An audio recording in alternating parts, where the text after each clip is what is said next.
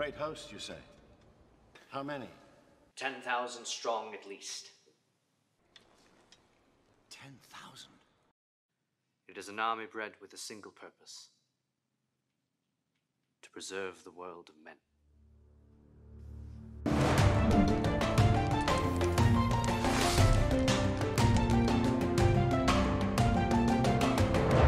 I had that idea last night as I was falling asleep, and I realized this morning that this might be the only chance I ever get to use that scene in this context. So, the opportunity could not be missed. Greetings, adventurers. I'm Kramer, and today we celebrate, we commemorate the 10,000 of you. I know, I can't believe I'm saying that either.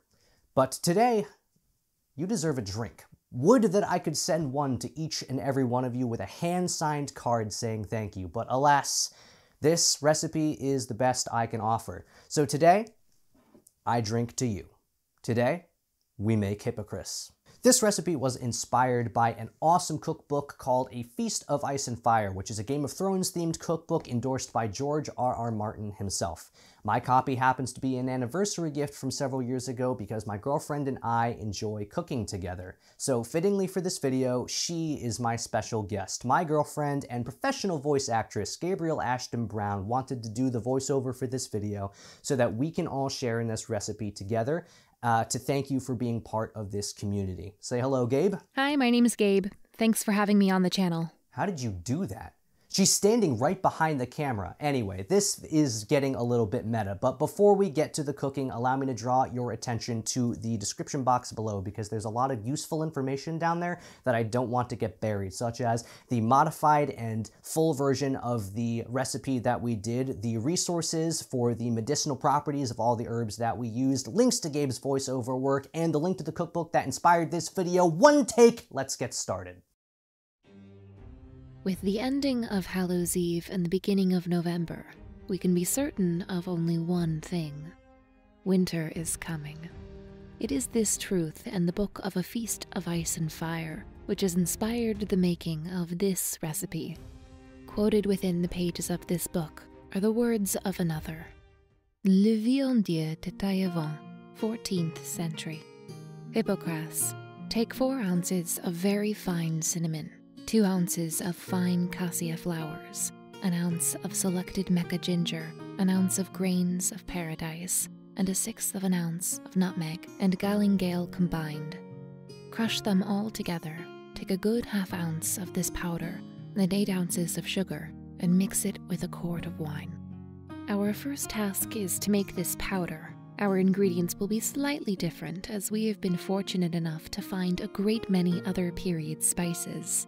It is not necessary that you have them all. There are enough of them that only several will suffice for your wine. If you so desire, note that each of these spices is associated with certain medicinal properties, and let that inform your choice. Some sources for this are linked in the description.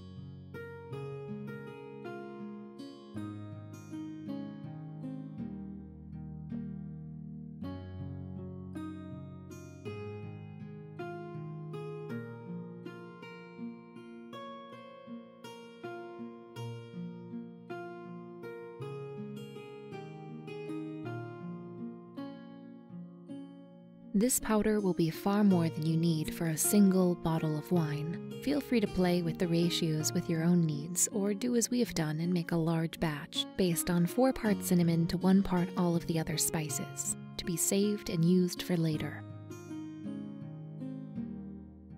Start with 2 ounces of cinnamon. 1 ounce is 2 tablespoons. Add to it a half ounce or 1 tablespoon of nutmeg, and the same amount of allspice. In our case, we added just one teaspoon of orange zest. All of these were pre ground. Our next ingredients we managed to find whole to better keep with the medieval ambiance. Additional ingredients we couldn't find but you might wish to use are listed in the description, along with the rest of the recipe. Of equal parts, all one tablespoon, we add cloves, cardamom pods, black pepper, and star anise, saving the marjoram to be added after the rest of these are ground. If you're only making enough for a single bottle and don't plan to save any of the spice mixture, the spices can simply be added to the wine without being ground. For ease of use and storage, however, we recommend the use of ground powders so they can easily mix. However, you decide to arrive at your powder is up to you. All of these add to a mortar and pestle and grind to a coarse powder. This took Kramer about an hour, and he learned several things along the way. It occurs to me that there must be some sort of method for grinding powders like this efficiently, and I don't know what that is. This is why we experiment, so I can learn what else I need to learn. Take the cardamom pods, for instance. I don't know if you're supposed to take the seed out of the pod itself and just grind that or grind the whole thing. And I suppose in in hindsight, you could say that I should have looked all of this up before I started the recipe. But um, these are things that didn't occur to me until I was already through the experiment. So like, I'm not sure if we're going to have different chemical reactions based on what order we mix these things in, but I have a feeling probably grinding each of these ingredients separately would have been the way to go. Uh, because at the very least, the size difference in a lot of these ingredients means that I am not grinding all of them equally with the same amount of effort. As I'm thinking about it as well, I'm realizing what may be obvious to some people, but wasn't obvious to me, that different materials that would have been used to make mortar and pestles might have not I mean, almost definitely were not just regional or aesthetic, but you would use a different type of mortar and pestle um, material for whatever task you were working on. I'm thinking this would be easier if I were using stone, um, and I might be completely using the wrong type of, of material for the task that I'm trying to do. And that's why I love doing experiments like this, because now I have a whole new rabbit hole of things to learn about that just never occurred to me until I tried to actually grind things in a wooden mortar and pestle.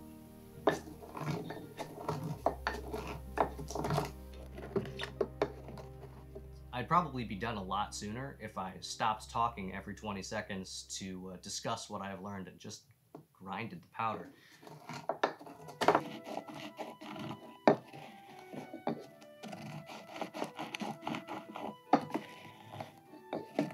Once the powder is to your satisfaction, add the marjoram and grind that in a bit more.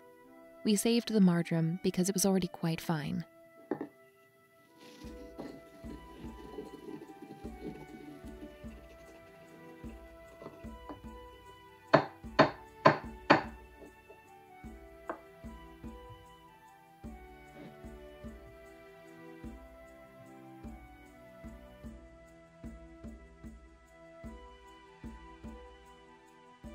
Combine all the spices and mix thoroughly.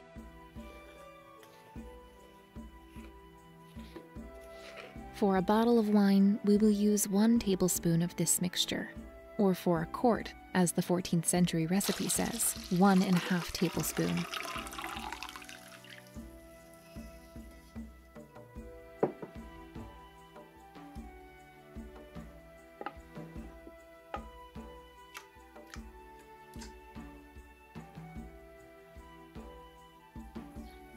This recipe also calls for 8 ounces of sugar. We will say add sugar to taste, or use a different sweetener of your choice, such as honey.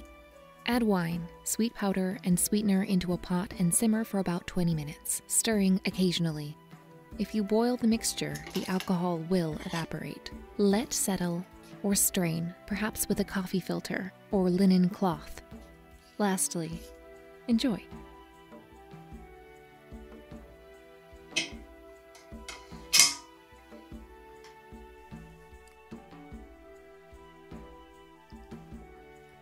Wow. that is spicy. Um,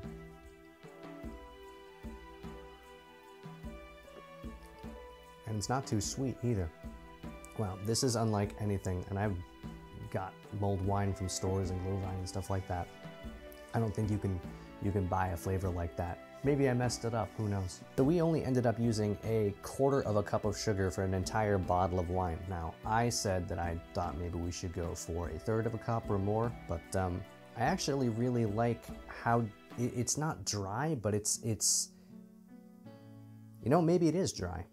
It's not dry like a white wine. You kind of have to try it in order to understand. But the, the spices really add a lot of heat. I'm getting the pepper a lot right up front. So I'm getting a lot of heat, and the heat sort of persists uh, after you've had the drink for a little bit. It's very warming. I'm getting a lot of the pepper, and I think the ginger is coming through an awful lot, even though we didn't cook it for very long at all. Um, I think a lot of the sweeter spice notes from, say, the cinnamon or the nutmeg or the allspice, I'm I'm losing those for some reason. Um, and there was a lot of cinnamon, so I think either that means next time uh, I'm gonna cut back on the hotter ones, maybe only use the tiniest bit of black pepper, maybe less ginger, uh, in the hopes that some of those other things come out a little bit. Max Miller with Tasting History said that he tried his at various different temperatures and it changed the uh, taste of the drink drastically. So I suppose I'll have to try that next time. But the experiment I'm going to do, which I'll bet some of you thought, oh, I wonder if this will work, and I'm on the same page as you.